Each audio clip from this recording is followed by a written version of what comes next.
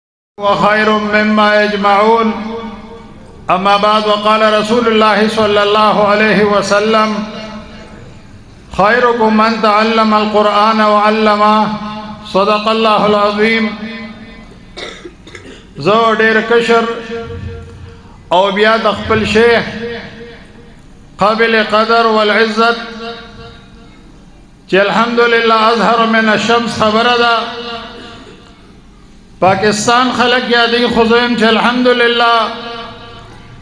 افغانستان څومره ممالک چې دي الحمدلله زم د حضرت شیخ صاحب د قبلګار رحمت الله تعالی نور الله مرقده زه د اغوی د وړاندې د خبرو قابل نه یم خو چونکه د دې په اجازت باندې د تمام علما کرامو زما د مرګرو د مشرانو کشرانو نارینه او زنانو د لویو د وړو د لری د نږدې څومره متعلقین چې دي راغلي دي یا روان دي راځي د خپل طرف نه د خپل والد صاحب د طرف نه د خپل خاندان د طرف نه د دې علاقې د دې کلی د طرف د لټول ډیر زیات مشکورم من لم یشکر الناس لم یشکر الله الفاظ نشتا چې زه د داسې قابل قدر عظیم شخصیاتو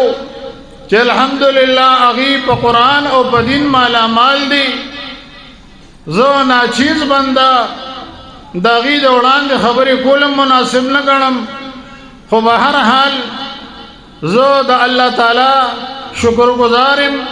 ما سره الحمدلله د دوی دعاګانې شامل حال دي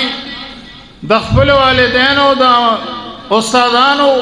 د تمام کلی علاقې وطن د مشرانو دعاګانې دي نورونه ما سره الفاظ نشته چې ستاسو شکریا ادا کوم رب العالمین دې ستاسو مال جان کې برکت واچي د دې نه علاوه ما سره چې چا څومره مالی بدني هر قسمه قرباني کړې ده هغه الله ته معلومه ده اله العالمین دې ستاسو د دواړه جهانو خیر وګرځي رونو ماته یو دا دعا کوي چې الله پاک د دین د خدمت لپاره صحت راکړي د ستاسو د خدمت لپاره صحت راکړي والد صاحب ته دعا کې کمزوري دي الله دې زمونږ د دین لپاره ستاسو لپاره دا سایه قائم دائم لري رب العالمین دې ستاسو قدمونه په تل د نیکه کې واچي الله دواړه جهان خيستاو ګرځوا بهر حال خبرې وګدول نه غواړم الله دې تاسو له دې راتلو د ناشته د دې ټولو خدماتو د نارینه او زنانو اجر عظیم ورکي او پاک پروردگار دې زموږ د دین دا کامل مکمل خوشحالي نصیب کړي ان شاء الله څنګه چې زمارور حضرت مولانا صاحب تاسو ته وی